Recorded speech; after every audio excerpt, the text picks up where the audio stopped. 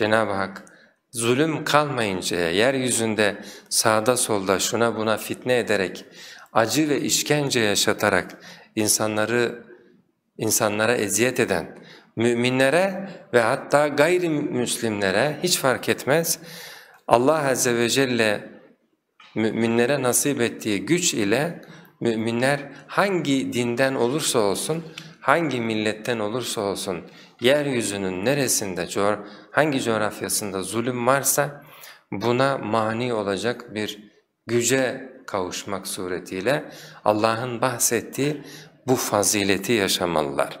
ulu bakiyetin yenhavne anil fesadi fil ardı. Yeryüzünde fesadı engelliyorlar. Yeryüzünde fesada fesat çıkarmak isteyen zalime mani oluyorlar.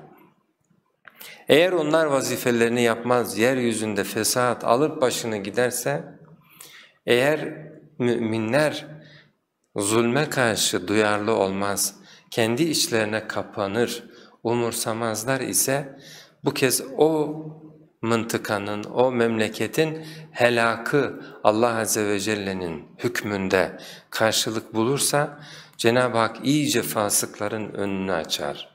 اَمَرْنَا مُتْرَف۪يهَا فَفَسَقُوا ف۪يهَا Bu serveti azgınlık şeklinde yaşayanlar iyice onların önü açılır. Bunlar artık iyice büyük büyük azgınlıklar yaparlar.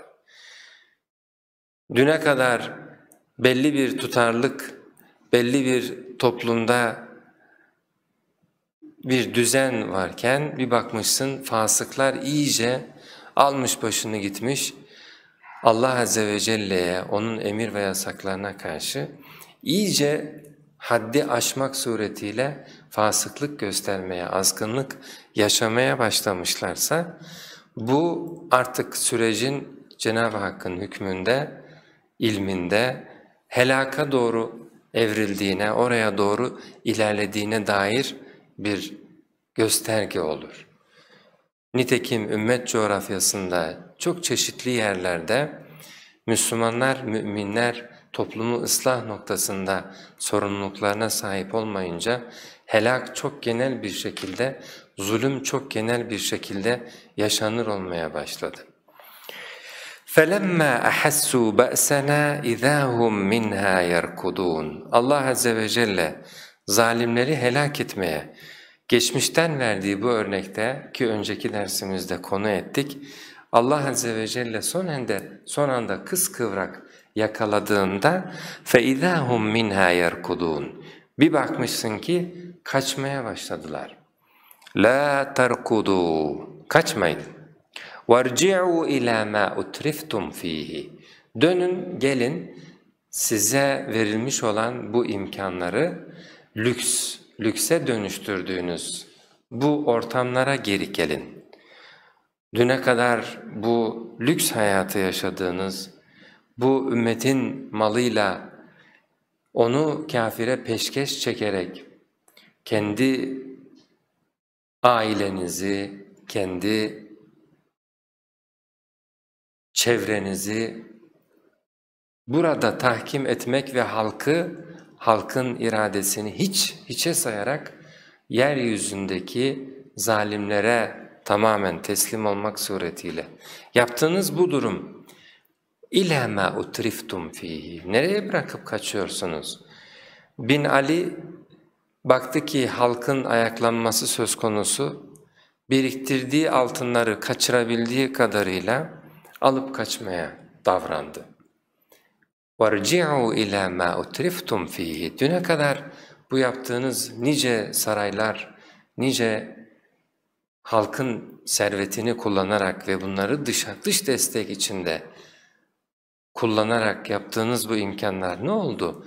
Nereye bir anda bırakıp kaçıyorsunuz? وَرْجِعُوا اِلَى مَا اُتْرِفْتُمْ ف۪يهِ Bu ne bugün için yaşanan, ne sadece dünde yaşanmış olan, ne belki de yarınlarda yaşanıp kalacak olan bir şey. Yeryüzünde zulüm, neredeyse Hz. Adem aleyhisselamın yeryüzüne ayak bastığından beridir, evlatları arasında çıkan o kanlı kavgadan, o kanlı çekişmeden beridir devam eden bir şey. Zalimler hep yeryüzü coğrafyasında mazlumların malını, ırzını, canını heder ederek kendi zevklerini, kendi duygularını tatmin etmeye çalıştılar. Ama hiçbirinin devamı, hiçbirinin bir geleceği olmadı. Hep Allah Azze ve Celle bunları belli dönemlerde, belli çevrimlerde helak edip durdu. O yüzden bu helakların yaşandığı yeryüzü coğrafyasında Cenab-ı Hak اَوَلَمْ يَس۪يرُوا فِي الْأَرْضِ Gezip dolaşın da فَتَكُونَ لَهُمْ قُلُوبٌ يَعْقِلُونَ بِهَا Akleden kalpleriniz olsun. Bakın öncekileri nasıl helak ettik. Ne büyük sütunları diktiler, ne büyük ehramı, piramitleri diktiler. Yeryüzüne kalıcı olarak çöreklenmek, kendileri ölse bile namları yürüsün diye zulümlerini kalıcı kılmak için neler yaptılar, nice insanı köleleştirip kendi binalarını, kendi stadyumlarını, kendi şehirlerini kurdular. Bunların hepsinin kalıntısı var. Gidip bakıp gezip dolaşın. Zulüm payidar olmuş mu?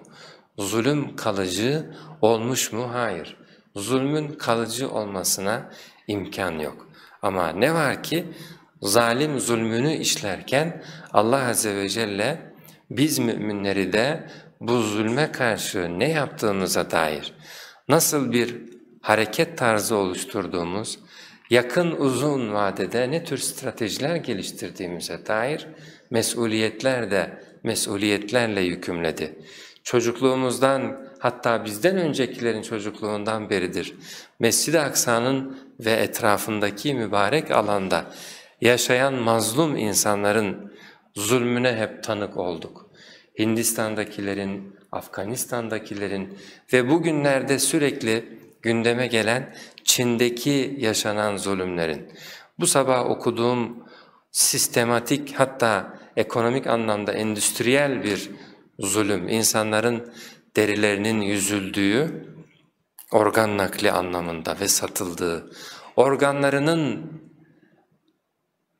idam edilmeden önce neler alınabilecekse hepsinin alınıp yine pazarlandığı, satıldığı, hatta bankasının oluşturup, canlı bankasının oluşturulup hangi türden, hangi düzeyde, hangi çeşitte nasıl bir böbrek lazımsa, nasıl bir herhangi aza lazımsa canlı olarak bulunan, bekletilen insanların hi nihacette müşterisi çıkınca idam edilip vesaire organlarıyla birlikte bir sürecin işletildiğine dair uzun bir flut vardı.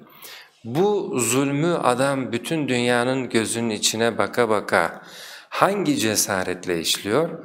Gücünün ve kuvvetinin gölgesi altında işliyor. Dolayısıyla ekonomik gücü, askeri gücünün eşliğinde bunu işliyor.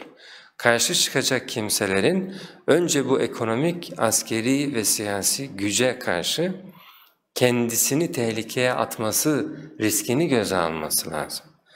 Dolayısıyla yakın vadede diş geçiremiyorsak bile uzun vadede bu zulmün bizi de kaplayacağı, bizi kaplamasa ne olur? İnsanları, mazlumları gün be gün inim inim inlettikçe kalbi olan, duyarlılığı olan, Cenab-ı Hakk'a karşı, zulme karşı dik duracağı sözü olan, vicdanı olan her insanın yeryüzünde rahat edemeyeceği bir ortamda yaşıyoruz.